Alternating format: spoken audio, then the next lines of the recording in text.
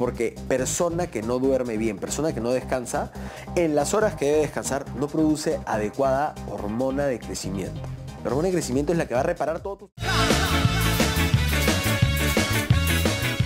Porque si tú eres de las personas que tienes problemas para conciliar el sueño, quizá Gaby... Como nosotros acá en el no- programa, la verdad. ¿Ah, sí? Todos. Sí, todos tenemos problemas con el sueño. Ustedes, yo duermo como una bebé, pero si usted en su casa tiene ese tipo de problemas, sufre de insomnio durante varias noches seguidas, yo te voy a contar que puedes recuperar las horas de descanso. ¿Cómo? Gracias. ¿Cómo? Gracias a la melatonina, por favor, una hormona importante para el cerebro responsable de mantener a la hora nuestro reloj biológico. Vamos a ver todo sobre la melatonina aquí en esta nota de Mónica Queirolo, la banda del chino.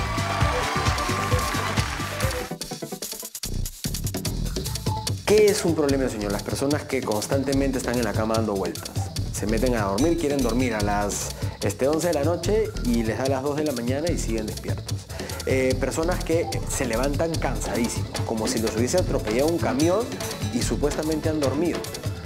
¿Tienes problemas para conciliar el sueño? ¿Estás agotado y sientes que te faltaron horas para dormir? Un mal sueño se asocia a mayores tasas de cáncer. Las personas que duermen poco viven menos y tienen más enfermedades. Entonces el sueño es, no es un lujo, no es un momento de relajo. El sueño es una necesidad del ser humano Últimamente hemos escuchado hablar de la famosa melatonina y son muchos quienes creen haber encontrado la solución. Hay una mayor producción de melatonina, lo que indica al cuerpo que debe descansar, mientras que ante la luz se reduce, manteniéndolo despierto. Mejor toma nota que en los siguientes minutos te contamos cómo recuperar el sueño sin necesidad de fármacos adictivos.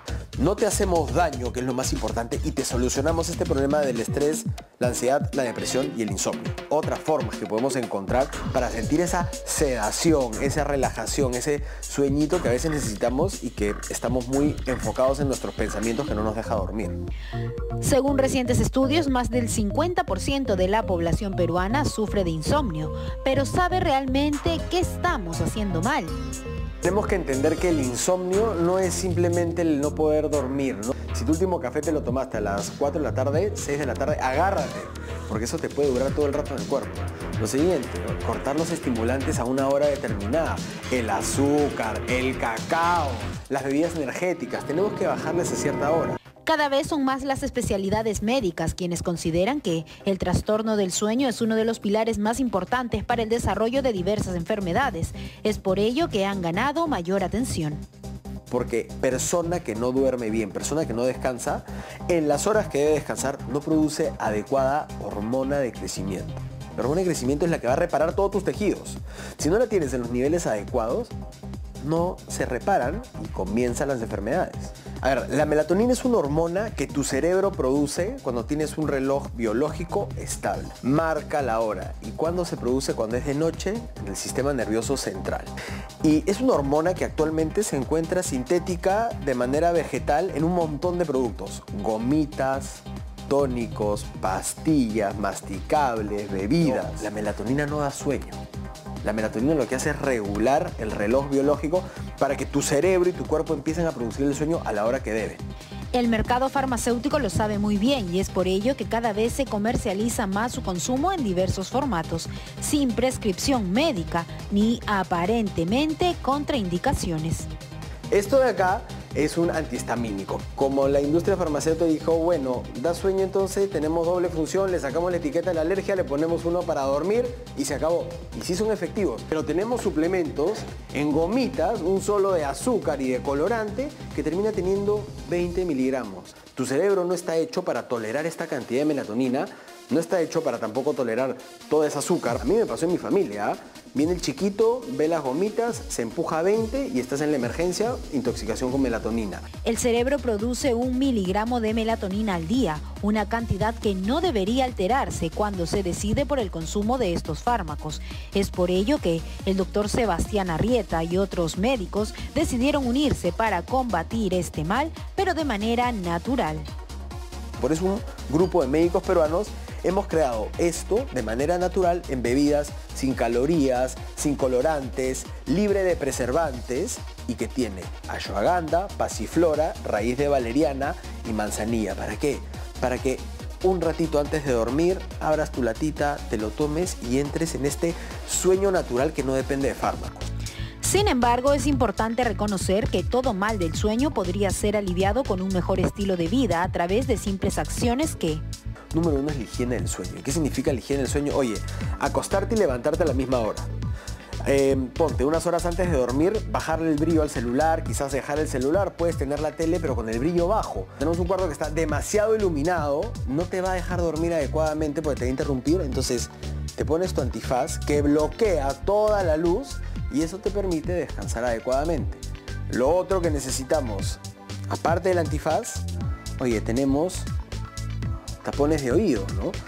Mucho ruido por todos lados, te pones los tapones de oído, cierras los ojos, no escuchas nada.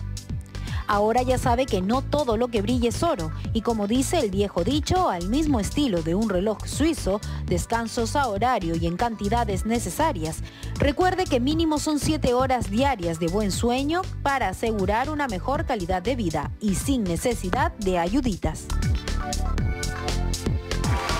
Eh, escúchame, Gaby, eh, ¿el teléfono del doctor me lo pudiste conseguir?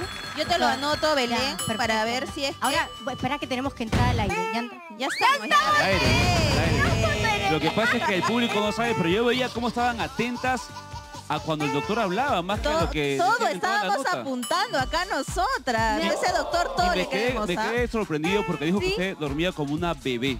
Yo duermo como una bebé, duermo, mira, como si no tuviera problemas, duermo con una tranquilidad. ¿Y qué toma para dormir Ay, como una bebé? ay. ¿Qué toma usted? ¿Quieres saber en serio? Sí, ¿no? Que tome en la noche para poder dormir así. Sí. ¿Cuál es el secreto? No es mentira, ¿eh? yo tomo una leche caliente antes de dormir. ¿En serio? Belén, no te expongas, por favor.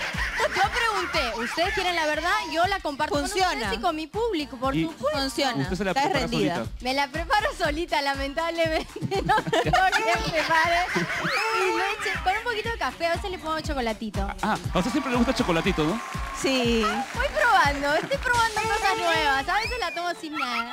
A, a mí, por ejemplo, la manzanilla me funciona. La manzanilla con la valeriana, En serio, Caigo ¿cuánto tiempo rendida. antes la tomas? media horita. Media horita antes. Media hora Dos antes. manzanillas con valeriana, Yo directo a dormir. yo para rezar oro. Oro. Oh, en le la pido a oración. Dios, claro, Importantísima, en serio. Y, y se acabó. En serio, un sueño reparador, de todas Ay, maneras. qué ternura. Es recomendable para la gente que está en su casa, para que la hormona de la melatonina pueda funcionar correctamente, que duerman con todo oscuro, traten de apagar la pantalla, por favor, de la tele, del celular. Tiene que estar oscuro para que puedan tener un descanso reparador. Y duerman como yo, como un bebecito. Es. una bebecita.